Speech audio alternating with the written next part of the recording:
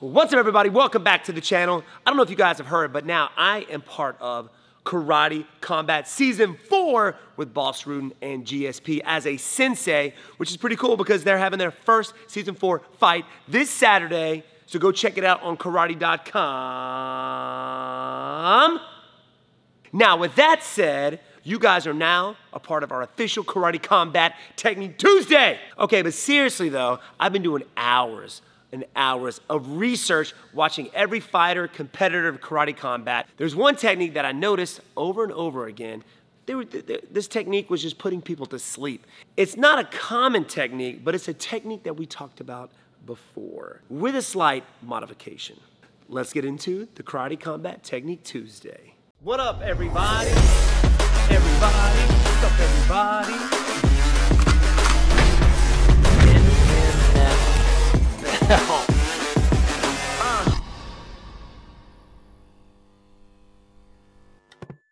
So before I get into the technique, how to throw it, and the optimal time to throw the technique for maximum KO potential, let me call my man, Sweet T!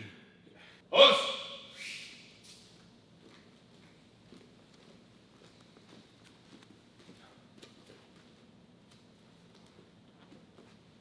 Us.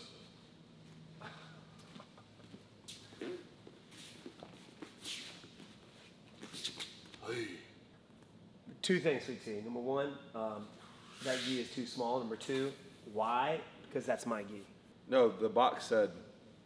No, you had too much man meat hanging out of this thing. But when they sent no, it, it's not for you. It's for me. But you know what? You look sharp. You look sharp.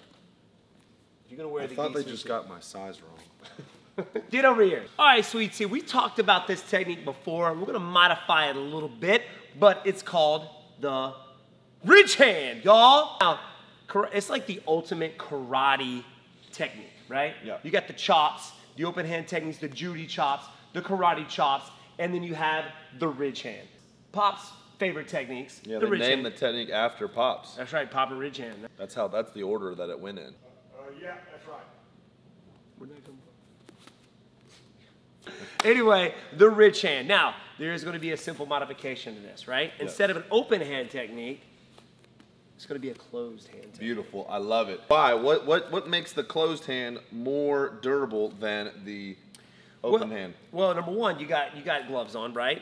We, there's no there's no thumb protection, so you got to watch out with hitting with the thumb. And, unless you do a lot of conditioning, some of these karateka guys do a lot of hand conditioning, so maybe that's why they're not hurting themselves. But if you notice, a lot of these guys are hitting with the inside edge of the wrist instead of the actual fist itself. Back in the day, they did use kind of that knuckle, but they spent hours and hours, like years, developing that part of the hand to take that punishment. We don't have the time of the day to do that. But if you're interested, we do have a hand conditioning video on that.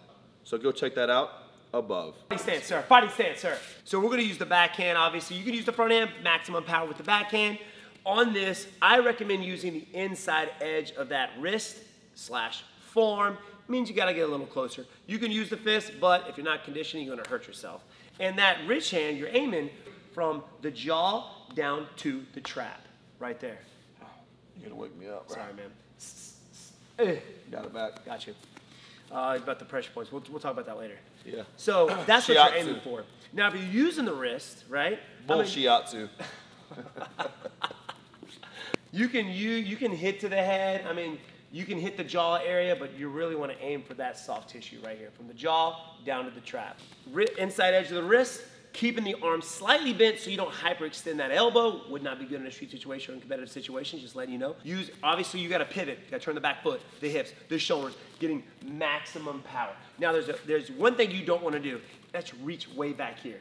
By the time I hit this guy with this ridge hand, he's done punched me in, this, in the face 80 million times. Wing Chun style. So what you want to do is like you want to take that hand right over the shoulder, right? Right over the shoulder, last telegraph, and then I rotate in using the inside that forearm, knock out instantly. At least that's the traditional way to throw that technique. But what these guys are doing in a combat situation, the target is slightly off, which is one of the reasons I believe they're having so much success with this ridge hand in karate combat fights. WB dropped knowledge. All right, guys, we're gonna go closed stance first. Two ways to set this bad boy up. Number one, this guy's gonna throw a back leg front kick. Or any kick. A lot of straight in kicks, you can land this ridge hand.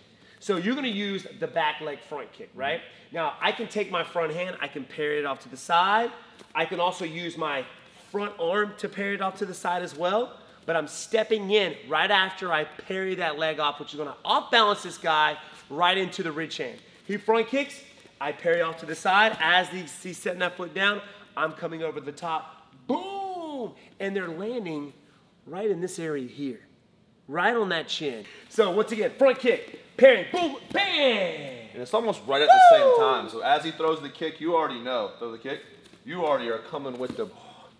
You right? know what's And coming. It doesn't matter. You're just swinging at the skull. And like I said, with enough power, it doesn't matter where you hit him in the noggin. Especially when you got all going that weight behind you. It's the gi's too small. They Oh, sent the wrong size. All right, all right. Setup number two, we're gonna go with an open stance. We gave you a closed stance scenario. Now we're gonna go open stance. His right foot, my left foot, here we go. Now, guy's gonna throw a jab.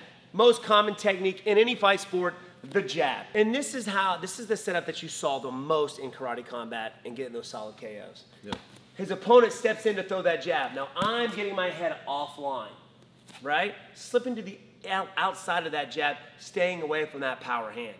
Now, same time, this is where your time has got to be on point, Sweet T. So as soon as he steps in with that jab, I'm slipping, hand comes right over top, hitting them right in the jaw or neck area, putting them to sleep instantly. Here we go. He steps in with a jab, I'm slipping, boom! There goes the ridge hand. And it's tricky because the guy doesn't see it coming.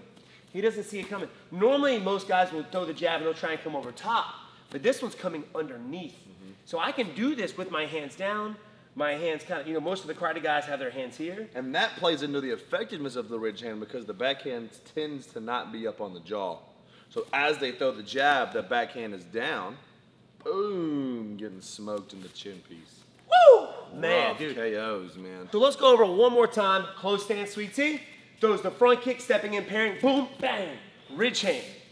Don't hit with the fist, hit with the inside of the wrist.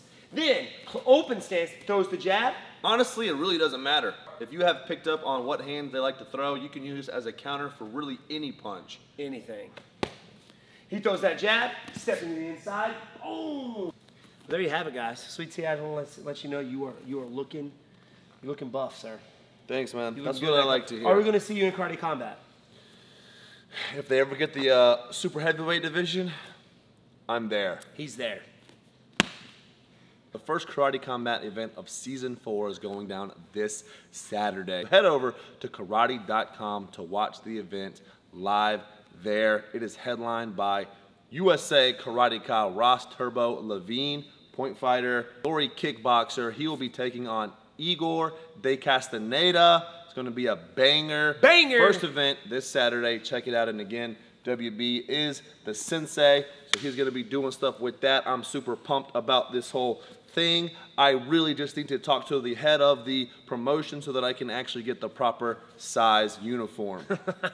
The headband looks good though. Just want you to know that, Sweet T. I bought this at uh, Anyway, got oh, you got that where? Amazon. Was it passed down? Don't make fun of me. I love you, dude. Anyway, guys, hit that subscribe button, turn on notifications to let you guys know when our next upload is. Throw some comments down below, guys. We love you. Thank you very much for all your support. Peace.